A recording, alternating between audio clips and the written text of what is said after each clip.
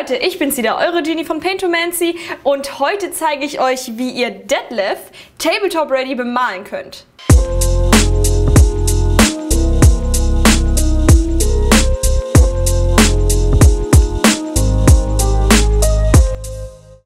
Ja, ihr habt richtig gehört, ihr könnt jetzt einen kleinen Detlef als Figur erwerben.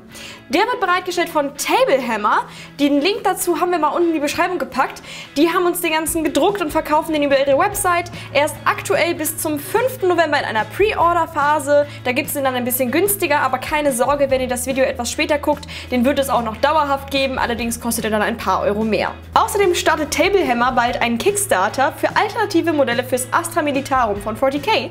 Schaut da also auf jeden Fall auch mal rein. Ihr könnt drei verschiedene Versionen von Deadlift kaufen und zwar einmal den Standard Deadlift mit seinem Pinsel, einmal einen mit einem Bolter und mit Kettenschwert. Ihr könnt natürlich auch alle drei in einem Set erwerben. Ich habe mich für unsere Deadleffe, ich glaube es ist Deadleffe, entschieden, dass ich ihn wie unsere Zeichnungen bemale. Also quasi so, als ob er wirklich aus der Malerei entsprungen wäre und jetzt dreidimensional ist. Das bedeutet, dass ich relativ flache und sehr abgeschnittene Schatten mache und nicht sehr viel highlighte. Dafür brauchte ich aber erstmal den perfekten Grundton. Da ich nicht wirklich eine Farbe gefunden habe, die mich zu 100% zufriedengestellt hat, habe ich mir eine zusammengemischt. Und zwar aus 50-50 Violet und Blue Violet, beide von Vallejo. Mit dieser Grundfarbe habe ich dann erstmal komplett angesprüht. Ich habe das eben schnell mit der Airbrush gemacht, aber ihr könnt das natürlich auch komplett mit dem Pinsel machen. Danach ging es erstmal darum, ein paar weitere Grundfarben aufzutragen. Für seine Haut und die kleine Schnürung am Hals habe ich ein Off-Black verwendet. Hierfür habe ich Rubber Black von AK benutzt. Ihr könnt aber auch eigentlich jegliches andere Off-Black benutzen, ob es jetzt German Grey von Vallejo ist oder Corvus Black von Citadel. Danach ging es darum, erstmal die Schürze weiß zu kriegen. Weiß ist natürlich jetzt nicht bekanntlich die angenehmste Farbe zu malen. Ich rate außerdem dafür ab, hierfür ein pures Weiß für den Start zu nehmen, da das einfach zu strahlend ist. Deswegen habe ich mich für Off-White von AK entschieden. Das ist aber auch ziemlich genau das Off-White von Vallejo. Ihr könnt aber auch zum Beispiel Corex White von GW benutzen. Für die Schürze habe ich jetzt circa vier Schichten gebraucht. Ist eine etwas mühselige Arbeit, aber wenn ich direkt drei Stück in einer Reihe bemale, ist die Farbe schon trocken, wenn ich mit dem letzten fertig bin. Jetzt mache ich in das Lila die typischen Schatten von dem gezeichneten Detlef. Dafür benutze ich das pure Violet, also die Farbe, die ich auch für den Grundton benutzt habe. Damit male ich einfach ziemlich genau nach der Vorlage der Zeichnung die Schatten an die Stellen des Deadlifts, wo ich denke, dass die da eigentlich ganz gut aussehen würden. Man muss natürlich jetzt ein bisschen umdenken, da er ja jetzt dreidimensional ist und keine zweidimensionale Zeichnung. Hierbei sollte man auf jeden Fall darauf achten, dass die Kanten hier schön scharf gesetzt sind, damit es diesen gezeichneten Comic-Stil bekommt. Als nächstes mache ich den Griff vom Pinsel. Und genau so habe ich auch das Kettenschwert und das Boltergehäuse gemacht. Dafür benutze ich als Grundfarbe erstmal Dryad Bark von Citadel. Das Ganze bekommt dann ein kleines Highlight mit Gothor Brown, ebenfalls von Citadel.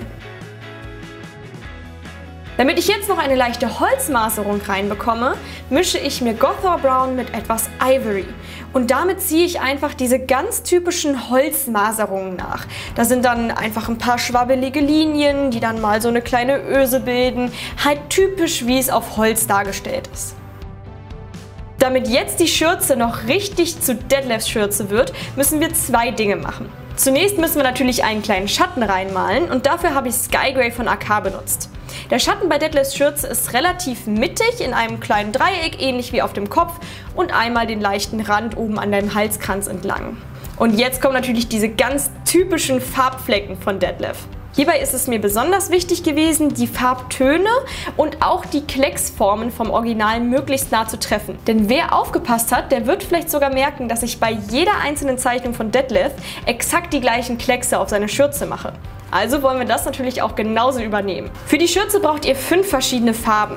Hier könnt ihr natürlich einfach knallige Farben nehmen, die ihr zu Hause habt, und zwar ein Gelb, ein Grün, ein Rot, ein Blau und ein Pink. Ich habe hier alle von AK benutzt, und zwar Deep Blue, Sahara Yellow, Magenta, Blood Red und Deep Green. Das Metall an dem Pinsel und auch an den beiden Waffen habe ich ganz simpel einfach Black Metal gemacht und bei den beiden Waffen habe ich das Ganze auch nochmal mit Nullenöl getuscht. Beim Pinsel habe ich das jetzt nicht gemacht, denn ein Shade soll ja auch ein bisschen in die Rillen laufen und auf dem Pinsel sind keine Rillen, dann wäre es einfach nur fleckig geworden. Zum Schluss fehlt noch beim Pinsel der Magiewirbel oben und dafür habe ich Dark Sea Blue, Turquoise, Blue Green und Off-White von AK benutzt. Angefangen mit Turquoise, damit habe ich erstmal die gesamte Pinselspitze bemalt. Danach habe ich mir ein bisschen Dark Sea Blue genommen und das unten in den Pinselschaft reingemacht und ein bisschen nach oben hin dann verlaufen mit Hilfe von Turquoise. Das Ganze mache ich jetzt auch mit Blue Green. Dabei benutze ich allerdings einen kleinen Trick, damit ich die Farben leichter ineinander arbeiten kann. Ich trage mir also erstmal etwas von dem Blue Green auf die Pinselspitze auf dann mache ich meinen Pinsel sauber und wische ihn auf meinem Papier trocken. Und dann gehe ich mit dem trockenen und sauberen Pinsel wieder auf die Pinselspitze des Modells und verschwimme die beiden Farben einfach auf dem Modell nass in nass miteinander. Das Besondere bei diesem nass in nass Blending hier ist, dass ich wirklich keine eigene Farbe auf dem Pinsel habe, sondern wirklich nur mit den nassen Farben auf dem Modell arbeite. Das Ganze wiederhole ich dann noch mit den helleren Tönen und zwar für das erste Highlight mische ich ca. 50-50 Off-White mit Blue Green und danach mische ich einfach nochmal einen gleichen Teil Off-White in das Blue-Green Off-White Gemisch. Und schon sind unsere Deadleffe Deadlefs fertig. Es war unglaublich spaßig, mein eigenes Maskottchen mal selber zu bemalen. Es ist wirklich ein so schönes Gefühl, dass eine Zeichnung, die man erstellt hat, irgendwann dreidimensional in der Hand hat und bemalen kann. Es war wirklich super schön, hat Spaß gemacht und ich bin richtig zufrieden mit dem Ergebnis. Ihr könnt natürlich eure Deadlifts auch jetzt bestellen und ich bin sehr gespannt, was ihr daraus machen werdet. Postet das doch einfach mal gerne bei uns auf den Discord-Server. Und das war es auch schon wieder. Ich hoffe, das Video hat euch gefallen. An dieser Stelle vielen lieben Dank an alle unsere Patrons und insbesondere unsere Paintomancer und Paint-to-Warlocks. Und zwar Aruka Diamond, Freddy, Frederik, Gottrik Gonison, Jan, Julian Juxe, Korugawa, Marco, Shirlin, Armin, Don Vittorio, Mario, Dorian Wiesner, Freckel, Gunni, Halli Matsuda, I Love You Not, Kilian, Lord Cecilius, Matthias, Max, Michael, Nachtmal Senior, Nagashur, Patrick W., Pingu Tobi, Sumsi und Thalion. Talion? Talion hat inzwischen geschrieben, wie wir ihn aussprechen sollen? Okay, ich sag, ich sag Talon. Falls ihr uns außerdem kostenlos unterstützen wollt, schaut doch mal in der Videobeschreibung vorbei. Dort findet ihr Affiliate-Links zu unseren Partnern PKPro und Taschengelddieb. Und falls ihr regelmäßig bei Amazon einkauft, macht das doch auch einfach über den Affiliate-Link. Also dann, bis zum nächsten Mal. Ja, ja, ja, ja, ja, ja was sage ich denn da? Ja, was, was, was hab ich denn hier für ein Brain Lag? Hey!